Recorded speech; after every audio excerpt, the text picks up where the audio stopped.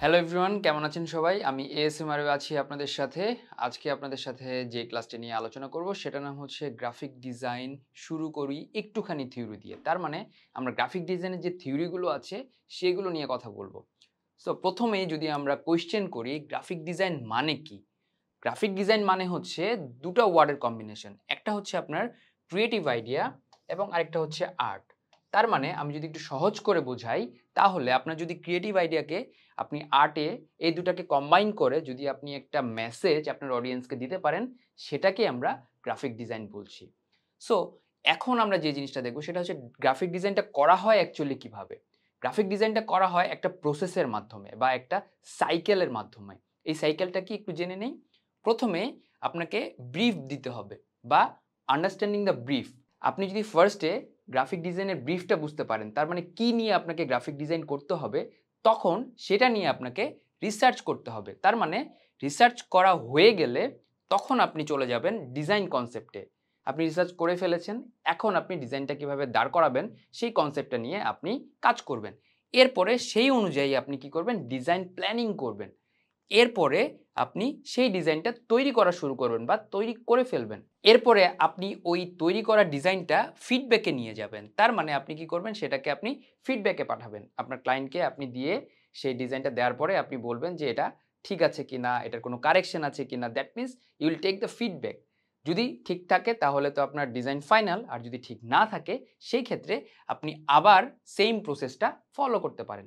এখন আমরা জানব গ্রাফিক ডিজাইন করার জন্য কি কি জানা থাকা প্রয়োজন। গ্রাফিক ডিজাইন করার জন্য আপনার তিনটা জিনিস জানা থাকা প্রয়োজন। প্রথমত হচ্ছে ডিজাইন প্রিন্সিপালস বা রীতিনীতি। এরপরে আছে ডিজাইন তত্ত্ব বা থিওরি এরপরে হচ্ছে রিলেভেন্ট সফটওয়্যার তার মানে আপনি যখন গ্রাফিক ডিজাইন করছেন, তিনটা জিনিস যদি আপনার জানা থাকে তাহলে আপনি গ্রাফিক ডিজাইন করতে পারবেন। প্রথমত ডিজাইন প্রিন্সিপালস দ্বিতীয়ত ডিজাইন থিওরি দেন হচ্ছে আপনার টুলস বা রিলেভেন্ট সফটওয়্যার এখন আমরা ডিজাইন প্রিন্সিপালসের যে ডিটেলসগুলো আছে, সেই ডিটেলসগুলো আমরা একটু জেনে নেই। আমরা যদি জনপ্রিয় পাঁচটি ডিজাইন প্রিন্সিপালস দেখি, তাহলে দেখব প্রথমেই আছে হচ্ছে ব্যালেন্স এবং তারপরে কন্ট্রাস্ট দেন হচ্ছে focal point or emphasize and then unity এবং ফাইনালি হচ্ছে হায়ারার্কি আমরা এখন এই জিনিসগুলো আরও ডিটেল জানব। এখন আমরা দেখব ব্যালেন্স বা ভারসাম্যতা। ভারসাম্যতা জিনিসটা যদি আমরা একটু এক্সপ্লেইন করি, তাহলে বুঝব যে কোনো একটা ডিজাইন ক্যানভাসের মধ্যে যতগুলো এলিমেন্ট আছে, সেই এলিমেন্টগুলোকে আপনি যখন একটা লাইন বরাবর সাজাবেন, তখন সেটাকে আমরা ব্যালেন্স বা ভারসাম্যতা বলছি।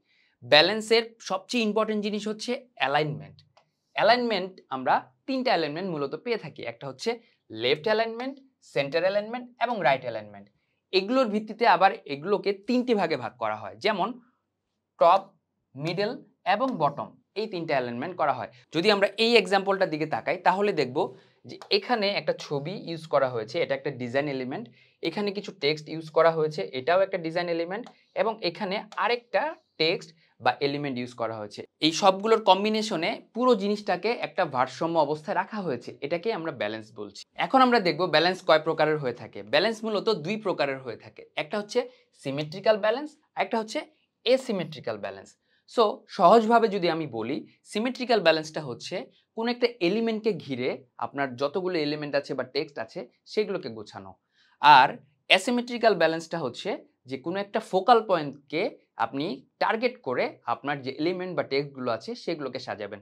যদি এখানে দেখি যে এটা হচ্ছে আপনার একটা এলিমেন্ট এই এলিমেন্টকে কেন্দ্র করে এখানে টেক্সটগুলোকে সাজানো হয়েছে। আর এসিমেট্রিক্যালের ক্ষেত্রে এখানে হচ্ছে আপনার ফোকাল পয়েন্ট এখানে কেন্দ্র করে পুরো জিনিসটাকে সাজানো হয়েছে। সো দুটা দুই জিনিস যদিও সহজ বাট একটু পার্থক্য আছে। এখন আমরা দেখব কন্ট্রাস্ট বা বৈসাদৃশ্য।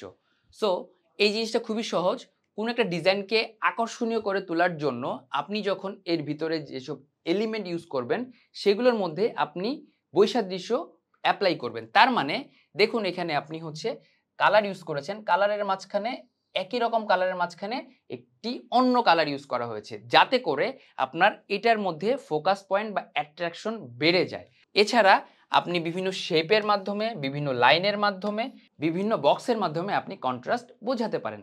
এরপরে আমরা দেখব ফোকাল পয়েন্ট বা কেন্দ্রবিন্দু।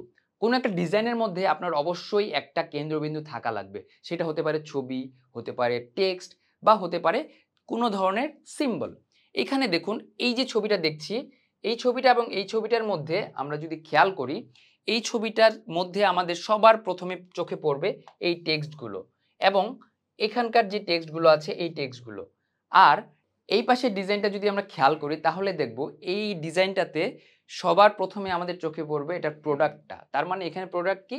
প্রোডাক্ট হচ্ছে শুজ এরপরে আমাদের চোখে পড়বে টেক্সটটা টেক্সটে বলা হয়েছে যে এখানে ফিফটিন পার্সেন্ট বা ফিফটি পার্সেন্ট অফ এই যে জিনিসগুলো, একটার পর একটা চোখে পড়ছে এবং সবচেয়ে মজার ব্যাপার হচ্ছে যখন আপনি ডিজাইনটা দেখছেন, সবার প্রথমে কোনটাতে আপনার চোখ পড়ছে? সেটাকে আমরা হচ্ছে কেন্দ্রবিন্দু বা ফোকাল পয়েন্ট বলছি। এরপরে যদি আমরা যাই, তাহলে দেখব ইউনিটি বা একতা। এই ইউনিটি বা একতাটা খুব মজার জিনিস। আমরা যখন কোনো একটা ডিজাইন দেখি, এই ডিজাইনটার মধ্যে যে এলিমেন্টগুলো থাকে, এগুলোর মধ্যে একটা মেলবন্ধন তৈরি করা হয় বা রিলেশন তৈরি করা হয়। এই পোস্টারটা যদি দেখি, দেখুন এখানকার যে ক্যারেক্টার এই ক্যারেক্টারের যে অ্যাকশন ফেস বা এক্সপ্রেশন এটার সাথে বাকি যে ক্যারেক্টারগুলো আছে, এগুলোর এক্সপ্রেশনও কিন্তু রিলেশন বা রিলেটিভ করা হয়েছে। তার মানে এগুলা একটা একটার সাথে রিলেটেড যখন আমরা এটা দেখব, তখন মনে হবে যে তারা একই ধরনের পোজ দিচ্ছে বা একই ধরনের কোনো একটা মেসেজ দিচ্ছে। এরপরে আমরা দেখব হচ্ছে হায়ারার্কি বা অনুক্রম। হায়ারার্কি বা অনুক্রম ব্যাপারটা হচ্ছে যে কোনটার পরে কোনটা প্রাধান্য পাবে এই জিনিসটা। এটা হতে পারে হচ্ছে আপনার কন্ট্রাস্টের মাধ্যমে, হতে পারে প্রক্সিমিটির মাধ্যমে, হতে পারে স্কেলের মাধ্যমে। তার মানে এই তিনভাবে আমরা হায়ারার্কি প্রকাশ করতে পারি। এরপরে আমরা দেখব যে হায়ারার্কির আরও কিছু বিষয়, যেমন এর মধ্যে হচ্ছে অনুপাত বা প্রপোর্শন এখানে দেখুন, প্রতিটা সাইজ তার মানে লাইন হতে পারে বক্স হতে পারে বা আদার কোনো শেপ হতে পারে, এগুলোর যে অনুপাত, সেই অনুপাতগুলোকে ছোট, বড় বিভিন্নভাবে প্লেস করাটা হচ্ছে এই প্রপোর্শনের মধ্যে পড়ে। এরপরে আমরা দেখব হচ্ছে মুভমেন্ট মুভমেন্টটা হচ্ছে আপনার ডিজাইনে ব্যবহৃত এমন একটা এলিমেন্ট যেই এলিমেন্টের মাধ্যমে মুভমেন্ট প্রকাশ হয়। এখন আমরা দেখব ব্ল্যাঙ্ক স্পেস বা ফাঁকা জায়গা। এই ডিজাইনটা যদি আমরা লক্ষ্য করি, তাহলে দেখব যে এখানে কিন্তু ফাঁকা জায়গা সবচেয়ে বেশি। কিন্তু তারপরও এই ডিজাইনটা আমাদের ভালো লাগছে বিকজ অফ ফাঁকা জায়গা এবং আপনার একটা দুটা এলিমেন্টের মাধ্যমে আপনি যখন মেসেজটা প্রকাশ করছেন, তখন সেটা আরও স্ট্রংলি কিন্তু প্রকাশ পাচ্ছে। এখন আমরা দেখব ডিজাইন থিওরি সো ডিজাইন থিওরির মধ্যে কি কি আছে? একটু দেখে নিই। ডিজাইন থিওরির মধ্যে পাঁচটি জনপ্রিয় থিওরি হচ্ছে gestalt theory colour theory typography grid theory এবং সেমিওটিক্স এই জিনিসগুলো আমরা একে একে জানব। প্রথমেই আমরা যাচ্ছি হচ্ছে গ্যাস্ট্রাল থিওরিতে গ্যাস্ট্রাল থিওরিটা খুব মজার একটা ব্যাপার। যখন আমরা মুভি পোস্টারগুলো দেখি, তখন কিন্তু আমরা গ্যাস্ট্রাল থিওরিটা চোখে পড়ে আমাদের। যেমন, আমি যদি সুপারম্যান বা হচ্ছে ডক্টর স্ট্যাঞ্জার এবং হচ্ছে আদার্স যে নামগুলো থাকে, এই জিনিসগুলো যদি আমি এক এক এক এক করে বসাই, তাহলে কিন্তু এইটা ভালো লাগবে না বা ডিজাইনটা দেখতে ভালো লাগবে না। যদি এটাকে আমরা একসাথে বসাই এবং এটার সাথে আরও কিছু এলিমেন্ট অ্যাড করি, তখন কিন্তু জিনিসটা আমাদেরকে ভালো লাগবে। সো এই পোস্টারটা যদি দেখি, এখানেই কিন্তু গ্যাস্ট্রাল থিওরিটা ইউজ করা হয়েছে। সিঙ্গেল এলিমেন্টগুলো বিভিন্নভাবে প্লেসমেন্ট করে একই সাথে একটা ডিজাইনে রূপ দেওয়া হয়েছে। এটাকে বলছি আমরা গ্যাস্ট্রাল থিওরি এখন আমরা দেখব সবচেয়ে মজার বিষয় সেটা হচ্ছে কালার থিওরি কালার থিওরির মধ্যে আমরা তিন ধরনের কালার দেখতে পাই। একটা হচ্ছে প্রাইমারি কালার সেকেন্ডারি কালার এবং tertiary colour so primary colour যদি দেখি আমরা, এই হুইলের মধ্যেই কিন্তু তিন ধরনের কালার দেওয়া আছে। এই হুইলটাকে কিন্তু অনেকে ম্যাজিক্যাল হুইল বলে থাকে। কীভাবে? আমরা যদি এইভাবে একটা ট্রায়াঙ্গেল আঁকি, যেই কালারগুলো পাবো, সেটা হচ্ছে আমাদের প্রাইমারি কালার যদি ট্রায়াঙ্গেলটাকে আমরা উল্টো করে দেই, তাহলে যে কালারটা পাবো, সেটা হচ্ছে আমরা বলছি সেকেন্ডারি কালার এবং বাকি যে কালারগুলো থাকছে, সেগুলোকে বলছি আমরা টার্সিয়ারি কালার এখন আসুন, কোন কালার কি ধরনের মিনিং করে বা কি এক্সপ্রেশন মিনিং হয় এই কালারের মাধ্যমে সেটা আমরা দেখব। প্রথমেই আসি হচ্ছে লাল কালার লাল মানে কি? লাল মানে হচ্ছে আবেগ, প্রেম, রাগ ইত্যাদি। এরপরে আসছে হচ্ছে কমলা বা অরেঞ্জ কালার অরেঞ্জ কালারটা কি কি মিনিং করে? ফার্স্ট অফ অল সৃজনশীলতা, তারুণ্য এবং উদ্দীপনা। এরপরে থাকছে হলুদ কালার এটার মাধ্যমে সুখ, আশা, স্বতঃস্ফূর্ততা ইত্যাদি প্রকাশ করে। এছাড়া আসছে হচ্ছে সবুজ কালার। সবুজ কালারের মাধ্যমে আমরা কি কি বুঝতে পারি? প্রকৃতি, বৃদ্ধি বা সম্পদ বা এটার হচ্ছে পজিটিভিটি বা ইতিবাচক যেটাকে আমরা বলি। এরপরে আসছে হচ্ছে নীল বা ব্লু কালার এটাকে এই ব্লু কালার দিয়ে আমরা হচ্ছে শান্তি, বিশ্বাস, বুদ্ধি বা অনুপ্রেরণা বুঝিয়ে থাকি।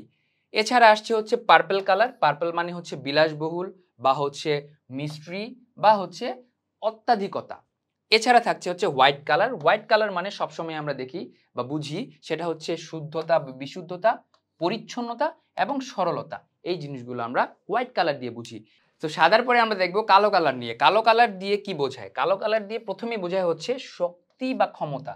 এছাড়া বোঝায় এলিগেন্স তার মানে যখন আমরা ব্ল্যাক কালার দেখি তখন আমরা বুঝতে পারি যে এটা শক্তিশালী কোনো একটা ব্যাপার বা এটা এলিগেন্ট কোনো একটা ব্যাপার।